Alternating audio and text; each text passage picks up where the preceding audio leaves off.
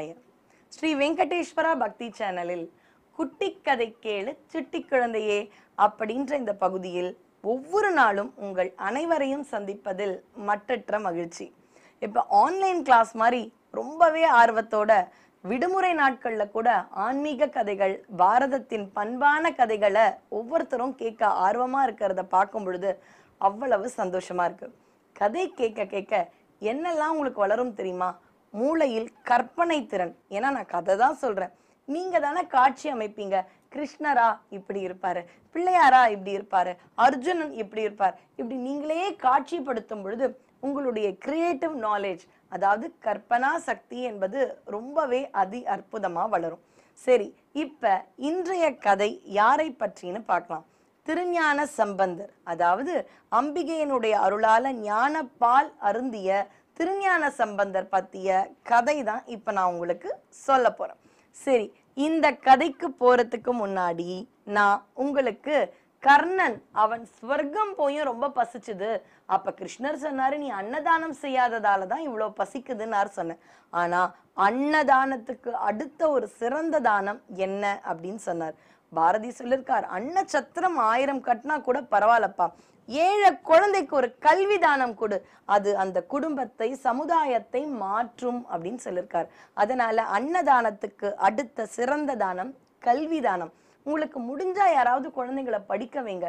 கண்டிப்பா அவங்கள மட்டும் இல்ல நம்ம சமுதாயத்தை மாற்றும். இல்ல படிக்க வைக்கிற அளவு வசதி இல்லையா? உங்களுக்கு முடிஞ்ச அறிவை நாலேஜ் டிரான்ஸ்ஃபர் அப்படின்னு ஆங்கிலத்தில் சொல்லுவாங்க. உங்களுக்கு கணக்கு நல்லா வருமா? கணக்கு கற்றுக் கொடுங்க அறிவியல் நல்லா வருமா? கற்றுக் கொடுங்க இலக்கியம் இலக்கணம் இதெல்லாம் நல்லா தெரியுமா? இலக்கணம்லாம் அழகா கிராமர்ஸ்லாம் கற்றுக் கொடுக்கலாம் இப்படியும் கல்வியை நாம் தானம் செய்யலாம். ஏன்னா கல்வியை கொடுத்தோன்னா ஒருத்தருடைய வாழ்க்கை தரம் என்பது ரொம்பவே உயரும்.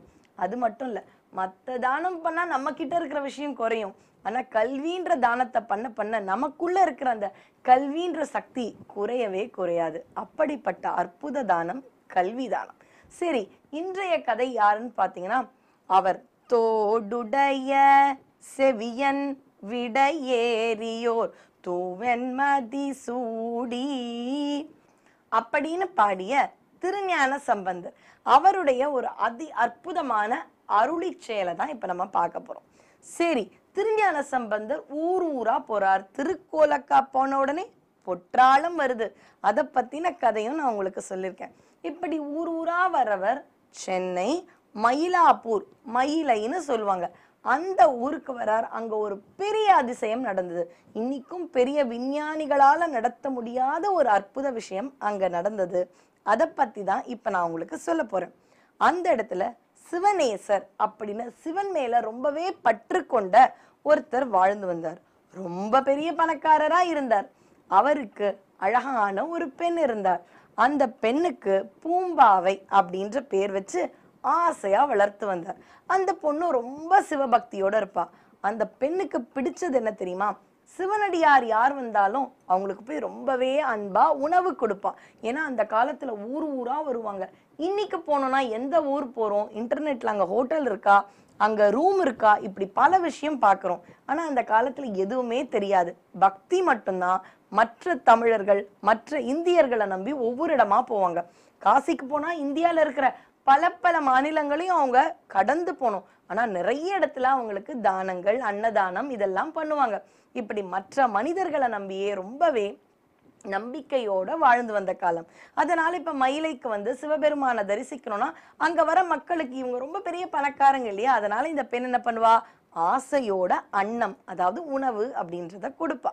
இப்படியே வளர்ந்து வந்தா அப்ப இந்த பெண்ணுக்கு திருஞான சம்பந்தரை பத்தி நிறைய கதைகள் நிறைய விஷயங்களை சொன்னப்பா உனக்கு நான் அவரையே கல்யாணம் பண்ண போறேன்ற ஆசையும் வளர்த்துண்டார். இப்படியே வளரும் பொழுது அந்த பெண் ஒரு நாள் அவளுடைய தோழிகளுடைய பந்து விளையாடிட்டு இருக்கா இங்க அவங்க இல்லத்து தோட்டத்துல. அப்ப ஒரு பாம்பு அவளை தீண்டிடுது. பாம்பு கடிச்சு அவர் அந்த இடத்துலயே அவளுடைய உயிர் போயுது அப்ப அவளுடைய வயசு ஏழு. ஏழு வயசுல அவ இறந்து போறா. இறந்து போகும்பொழுது ரொம்பவே வருத்தப்பட்ட. அப்பா அவ இறந்த பிறகு அவளுடைய ஹஸ்தி அதாவது அவளுடைய ஆஷ் அவளுடைய எலும்பு போன் இதெல்லாம் எடுத்து ஒரு பானையில வைக்கிறார். ரொம்ப அழுகையோட இருக்கார். அஞ்சு வருஷம் ஆச்சு. ஃபைவ் இயர்ஸ் லேட்டர் இப்படிலாம் கதைகள் படிப்பீங்க இல்லையா? அப்படி அஞ்சு வருஷம் கழிச்சு திருஞான சம்பந்தர் மயிலைக்கு வரார். அப்படி வந்த உடனே நேராக போய் சிவபெருமானை தரிசிக்கலாம்னு போகும்பொழுது அங்கே இருக்கிற மக்கள் எல்லாம் ஆஹா எவ்வளோ பெரிய அற்புதமான குழந்தை. பார்வதியே உங்களுக்கு ஞானப்பால் கொடுத்துருக்கா. எவ்வளவு நல்ல விஷயங்களை பண்றீங்க. வாங்க வாங்கன்னு வரவேற்கிறாங்க. அப்படி அவர் திருஞான சம்பந்தர் வரும்பொழுது இந்த சிவநேசரும் அங்க போய் அவரை ரொம்பவே மரியாதையெல்லாம் பண்றார். ஆனா கண்டுபிடிச்சிடுறார் திருஞான சம்பந்தர். நமக்கு கூட தெரியும் இல்லையா? அம்மா நமக்கு ஏதாவது செய்வாங்க? ஆனா கோமா இருந்தா கேட்போம். அம்மா நீ எதுக்கோ கோமா இருக்க? எனக்கு உன்னுடைய முகமே காண்பித்து கொடுக்குது அப்படின்னு சொல்லுவோம் இல்லையா? அப்படி திருஞான சம்பந்தர் கேட்கிறார். மற்றவங்க எல்லாம் சந்தோஷமா இருக்காங்க. சிவனேசரே நீங்க எனக்கு எல்லாம் செய்யறீங்க. அன்பா இருக்கீங்க. ஆனா உங்க முகத்துல ஏதோ ஒரு கஷ்டம் தெரியுது.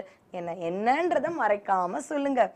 அப்படின்னு அவர் ஞானப்பால் குடிச்சவர் இல்லையா? ஈஸியா கண்டுபிடிச்சிட்டார்.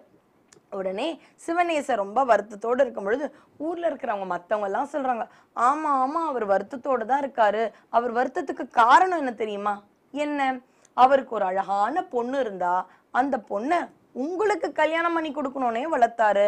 ரொம்ப சிவபக்தியோட இருந்தா சிவனடியார்களுக்கெல்லாம் உணவு கொடுத்தா ஆனால் அவள் பாம்பு கடிச்சு இறந்து போயிட்டா. அந்த வருத்தம் அப்படின்னு சொல்லிட்ட உடனே அச்சுச்சோ அப்படியா? எங்க? அப்படின்னு சொல்லும் பொழுது மற்றவங்களாம் சொல்கிறாங்க இறந்து போன அந்த பெண்ணுடைய ஆஷஸ் சாம்பலையும் எலும்பையும் இன்னைக்கும் வச்சிருக்கார் அப்படின்னு சொன்ன உடனே அந்த பானையை எடுத்துன்னு வந்து கோயில் முன்னாடி வைங்கன்னு திருஞான சம்பந்தர் சொல்றாங்க.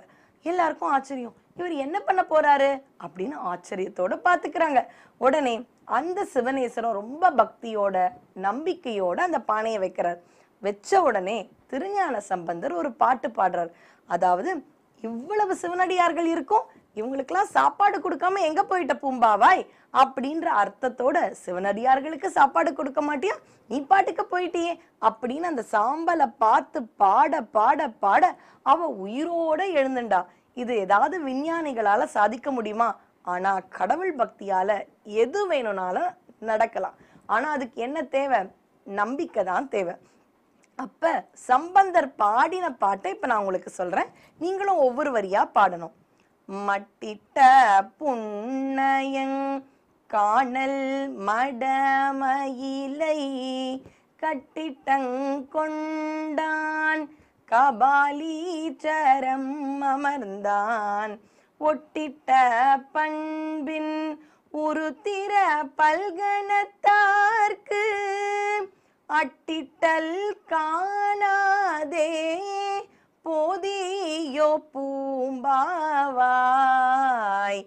அட்டிட்டல்னா உணவு. உணவு கொடுக்காம எங்க போயிட்ட? எதை பார்த்து பாடுறாரு? எந்த ஒரு மனுஷரையும் பார்த்து பாடல. இறந்து போன பெண்ணுடைய எலும்பையும் சாம்பலையும் பார்த்து எங்க போன வரவங்களுக்கெல்லாம் சாப்பாடு கொடுக்காம? அப்படி பாட பாட திருமயிலையில நடக்கிற ஒவ்வொரு அழகான விழாக்களை பத்தி சொல்லி சொல்லி இது பார்க்காம எங்க போயிட்ட? சிவனடியார்களுக்கு சாப்பாடு கொடுக்காம எங்க போயிட்ட? அப்படி கேட்க கேட்க கேட்க அந்த பெண்ணுடைய அங்கமா வந்து பானை டமார்னு வெடிச்சு அங்க இருந்து அந்த பொண்ணு ரொம்பவே அழகா வந்தாளாம். அதுவும் எப்படி வரா? ஏழு வயதுல இறக்குறான்னு சொன்னேன். ஆனா அவ வரும் பொழுது பன்னிரண்டு வயது அழகான பெண்ணா வரா ஏன்? திருஞான சம்பந்தர் ஏழு வயதுல அவ இறந்ததுக்கு அப்புறம் அஞ்சு வருஷம் கழிச்சு அந்த ஊருக்கு வர்றார். கரெக்டா அந்த அஞ்சு வருஷத்துக்கான குரோத் அந்த பெண்ணுக்கு இருந்து பன்னிரண்டு வயது பெண்ணாக வரா. வந்து அச்சோ இவ்வளோ சிவனடியார்கள் இருக்கிறீங்களா? நான் எல்லாருக்கும் சாப்பாடு போடணுன்றது ரொம்பவே ஆசையாக பண்ணுறா அப்போ அன்னதானம்னு செஞ்சால் எந்த அளவு அதற்கான மதிப்பு வீரியம் எல்லாம் இருக்குன்னு பாருங்கள் அப்ப சொல்றார் சிவனேசர் ஆஹா உங்களுக்கு கல்யாணம் பண்ணணும் தானே இந்த பெண்ணை வளர்த்தேன். நீங்களே கல்யாணம் பண்ணணும்னு சொல்லும் பொழுது ரொம்ப அழகான பதில திருஞான சம்பந்தர் சொல்றார். என்ன சொல்றார்? சேச்ச அவ உங்க பொண்ணு இறந்துட்டா. இப்ப நான் தானே அவளை கொண்டு வந்த பக்தியால. அதனால இவ என்னுடைய மகள் மாதிரி என்னுடைய பெண் மாதிரி. இவளை நான் திருமணம் செய்ய மாட்டேன். அவ நிறைய சிவத்தொண்டு செய்யட்டும் அப்படின்னு சொல்லிட்டு அவர் போறாராம்.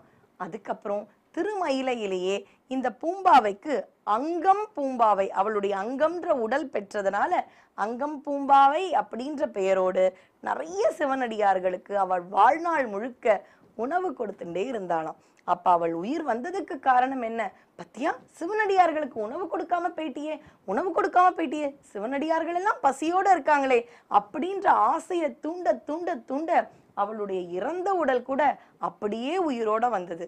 அப்படி நம்ம சிவனடியார்கள் மீதும் இறைவனுடைய அடியார்கள் மீதும் திருமாலடியார்கள் மீதும் நம்ம ரொம்பவே பக்தியோட அவர்களுக்கான சேவையை பண்ணோம்னா இறைவனுக்கு நம்ம ரொம்பவே பிடிச்சவங்களா இருப்போம். சரி இப்ப கேள்விக்கான நேரம். இந்த அற்புதமான விஷயம் நடந்த ஊர் சென்னையில இருக்கு. அது என்ன ஊர் அப்படின்றத நான் முதல்லயே சொன்னேன். அது என்ன ஊர்? அந்த ஊரினுடைய பெயர் தான் இப்ப கேள்வி. நீங்க யோசிச்சு வைங்க. அடுத்த முறை கதை சொல்லும் பொழுது அந்த கேள்விக்கான பதில் என்ன அப்படின்றத பார்க்கலாம். இந்த அழகான கதையை உங்க வீட்டில் இருக்கிற எல்லாருக்கும் சொல்லுங்க. ரொம்பவே சந்தோஷமா நல்ல நல்ல கதைகளை கேட்டு பண்பா வளருங்க. நன்றி வணக்கம்.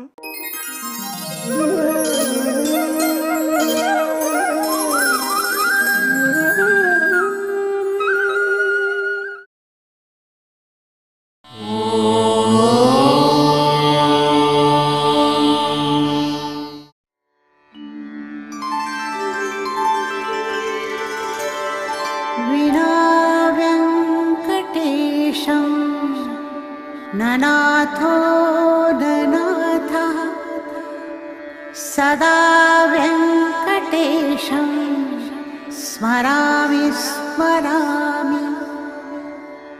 हरे व्यङ्कटेश प्रसीद प्रसीद। प्रियं वेङ्कटेश प्रयच्छ प्रयच्छ